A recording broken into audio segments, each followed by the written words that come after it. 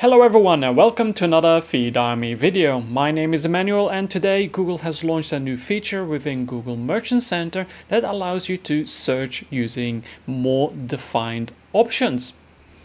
So when you go to your Google Merchant Center account and click on products, you see a new icon and this is called search for products. When you click on it, it will pre-build some features that allows you to see what uh, you can already do. For example, if you want to see manually added products, it will say it in plain English what that is. Uh, also, which products cost me clicks but are out of stock. Normally that should show a zero because out of stock products should not show uh, performance, um, but it could show that from the last, for example, 30 days if it recently has been out of stock. Uh, also manually edited products that aren't showing up. So this is pretty cool. So basically uh, you just click on what you want to see. So for example, visible products without clicks, that will be a very useful thing. So now you can see like, oh, this product uh, is uh, not getting any clicks, but it is showing. So what do we need to do?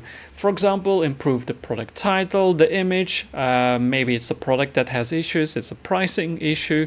Um, could be many reasons. Um, so let's go and just remove that and then it will pop up again. And then basically you can ask whatever you want.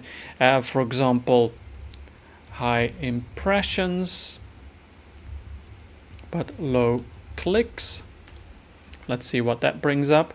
There we go. So it comes up with clicks under 10 and then you can see uh, which products are affecting. You can also then see, of course, other attributes such as the click potential.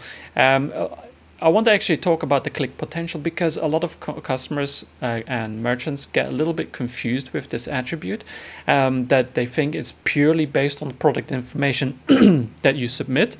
However, it is based also on historical uh, performance. Um, so it's not just purely based on what info you submit. I've actually written an article about it and some very important information that actually Google has hidden uh, after like one or two days. So I do have a record of that information. So do have a look at that video about click potential. Um, but anyways, let's go talk about um, the filters. So this is a very cool filter. Now it is, as always, not available on all accounts. It, um, this one is now on an Australian account, but if I look at, for example, a US account, this filter is not available. And that is why uh, it is rather annoying that not all features are available to all uh, merchants. However, uh, they should be uh, available soon, I hope.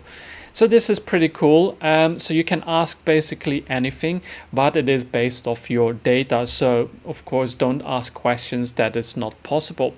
Now, what would be interesting is, for example, with my uh, script to pull out data from Performance Max to your account, and then you can pull that into uh, Google Merchant Center as a supplement feed, which includes then the conversions, the conversion value, etc if custom attributes are also available in this query that would be very good um, so uh, unfortunately this account I don't have that set up yet However, it would be useful to test out on other accounts where I do have the performance data linked up and then uh, check how all that works.